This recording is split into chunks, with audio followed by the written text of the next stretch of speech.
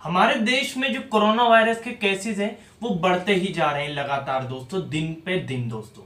ये रुकने का नाम ही नहीं ले रहे अब तक 29 लाख से भी ज़्यादा केस निकल चुके हैं भारत के अंदर। पचपन हज़ार, लगभग पचपन हज़ार लोगों की मौत हो चुकी है भारत के अंदर दोस्तों। अब ये कोरोना वायरस बड़ी बड़ी हस्तियों को भी होने लगा है। दोस्तों, हमारे देश के पूर्व राष्ट्रपति प्रणब मुखर्जी को भी कोरोना वायरस हुआ दोस्तों।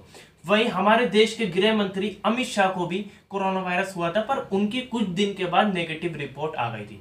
पर दोस्तों, मैंने एक वीडियो बनाई थी। आपको बताया था कि अमित शाह को जब कोरोना वायरस हुआ और उनकी नेगेटिव रिपोर्ट आने के बाद उनको घर में आइसोलेशन करने के लिए कहा था कि आइसोलेट हो जाइए, आप कुछ दिन के लिए रेस्ट करिए तो अचानक उनकी तबियत बिगड़ गई थी दोस्तों। अब उनको एम्स के हॉस्पिटल में एडमिट कराया गया था। क्या हुआ था? सारी जानकारी मैं आपको इस वीडियो में बताऊँगा और अब क्या स्थिति है अमित शाह की, सारी जानकारी इस वीडियो में बताने वाला हूँ दोस्तों। उससे पहले मैं आपसे कहना चाहूँगा कि अगर आप भी चाहते हैं कि कोरोना वायरस जल्द से जल्द इस देश से खत्म होना चाहिए तो आप इस वीडियो को प्लीज़ ज़रूर लाइक कर दिए अगर आप चैनल पर नए हैं तो चैनल को ज़रूर सब्सक्राइब और बेल आइकन को दबा दिएगा ताकि मैं जब भी नई वीडियो लेकर आऊँगा दोस्तों, आपको पता चल जाएगा। दोस्तों, सबसे पहले तो मैं आपको बता दूँ, हमारे देश के पूर्व राष्ट्रपति प्रणब मुखर्जी, वो कोमा में चले गए और उनकी हालत बहुत ज़्यादा स्थिर बनी हुई है। आप सबसे मेरी रिक्वेस्ट है, आप हमारे देश के पूर्व राष्ट्रपति के लिए दुआ करें, उनकी चौरासी साल की उम्र है, वो जल्द से जल्द स्वस्थ होकर अपने घर पर पहुँचे दोस्तों। भाई दोस्तों, अब बात करते हैं अमित शाह की। दोस्तों, जब उन्हें आइसोलेट करने के लिए, घर के लिए डॉक्टर ने सलाह दी तो वो घर पर पहुँच गए थे तो उनके दोस्तों, मंगलवार को एकदम से अचानक तबियत बिगड़ी।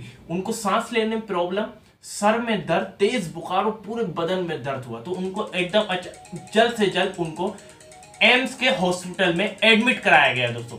वही दोस्तों मैं आपको बता दूँ, अब डॉक्टरों की बुलेटिन रोज निकल रही है हेल्थ की, अमित शाह को लेकर। तो बताया जा रहा है कि अमित शाह की दिन पे दिन जो तबीयत है, वो सुधर रही है। तो तो सुधार है तबीयत को लेकर, वही जो कामकाज है गृह मंत्री का, वही वो हॉस्पिटल से देख रहे हैं दोस्तों। तो दोस्तों, यानी अमित शाह की जो तबीयत जो पहले ज़्यादा खराब थी, अब उसमें सुधार आता हुआ दिख रहा है डॉक्टर का कहना है। चलिए आपकी क्या प्रतिक्रिया इस पर? आप नीचे कमेंट बॉक्स में प्रयास ज़रूर बताइएगा। इस वीडियो को ज़्यादा ज़्यादा शेयर करिएगा लाइक ज़रूर करिएगा। चैनल पर नए तो चैनल को ज़रूर सब्सक्राइब और बेलाइकन को दबा दिएगा ताकि मैं जब भी नई वीडियो लेकर आऊँगा तो आपको पता चल जाएगा। चलिए इस वीडियो में इतना ही।